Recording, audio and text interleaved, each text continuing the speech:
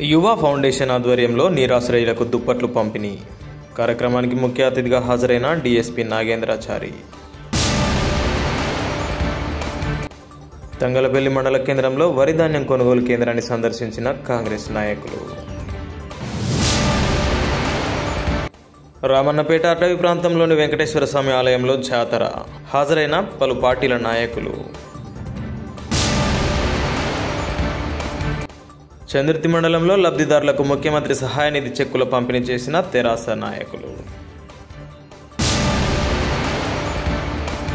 రుద్రంగి మండల కేంద్రంలోని శ్రీ లక్ష్మీ నరసింహుని దర్శించుకున్న కాంగ్రెస్ నేత ఆది శ్రీనివాస్.